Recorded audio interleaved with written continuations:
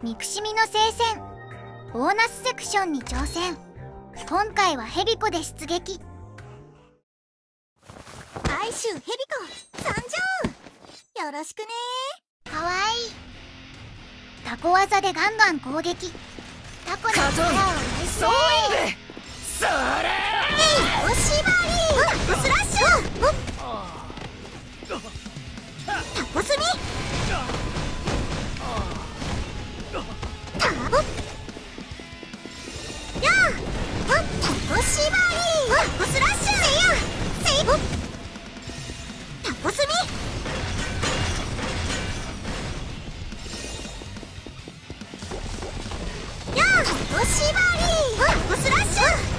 ュ根性カトン総演武それ。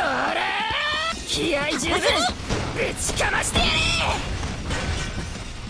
うんスラッシュえここまではいい感じ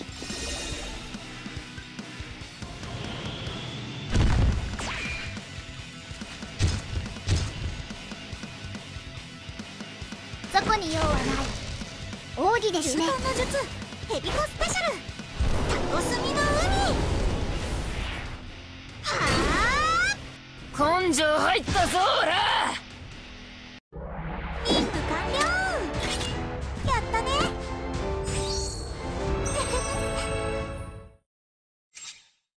ノーダメージクリア！今回使用したキャラはヘビコ編成は火力速度を重視。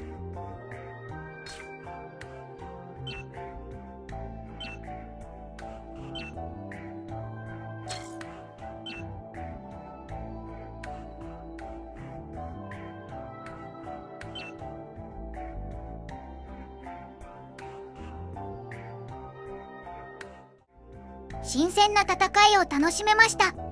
タコだけに。まだまだ動きは無駄だらけ。自由自在に動かせるようにコツコツ練習していきたいです。楽しみながら頑張るぞい。ご視聴ありがとうございました。ゆっくり投稿していくので今後もよろしくお願いします